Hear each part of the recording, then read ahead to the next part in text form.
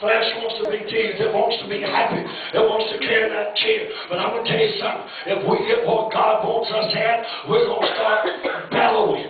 We're going to start bellowing for lost souls. If that spirit gets in us that was in Jesus Christ, and I don't see how it cannot get in us if it was in Jesus Christ, if Jesus Christ is in us. That's right.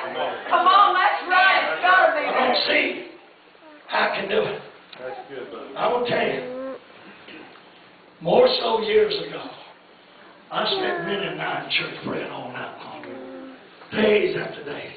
Come out and just go out there and cry and just pray, pray all night long. I prayed for hours and hours lately. I mean just go in and pray and seek God and be there for hours to bathe under that anointing and that power of God. You know what's wrong? God is stirring up that spirit again. God is moving in His is. church again. And He's trying to wake up them dead virgins that come back alive in God and get themselves back in order. You've got to have that flow of that anointing. You've got to trim that wick he's talking about. Watch that globe and stand up. But there's something. Come on. Have I got enough?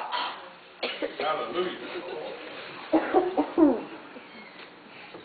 Thank you, Jesus. Well, I got enough to be saved. Well, we do.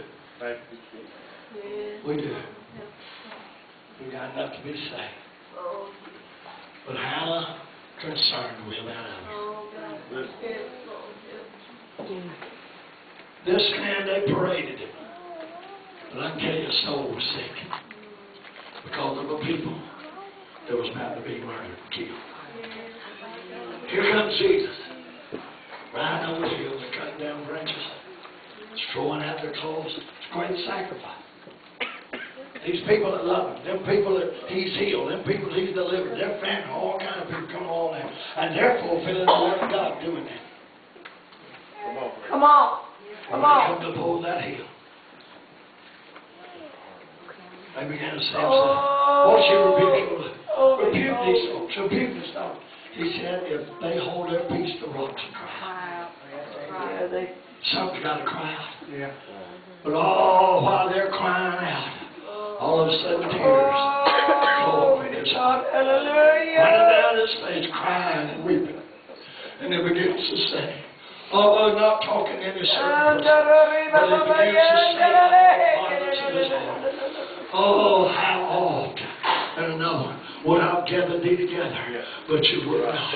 How oft, months, how many weeks, how many years have I healed you sick, raised you dead, walked among you, done great miracles, and the sign of a prophet has been among you. That chief oh. apostle has walked these streets, and now the time of your visitation, what God was wanting was not just one over here and one over there. You know, we always got three or four good prayer warriors in our church, and y'all, y'all are more fortunate than some of them, and you're blessed. But God didn't just want one or two, four or five. He wanted that whole seed saved. He wanted them all saved. And it wasn't crying over the one saved, it was crying over the one still lost. And they wasn't seeing, wasn't coming in and rejected and didn't receive, and those that had never been reached. That's right, brother.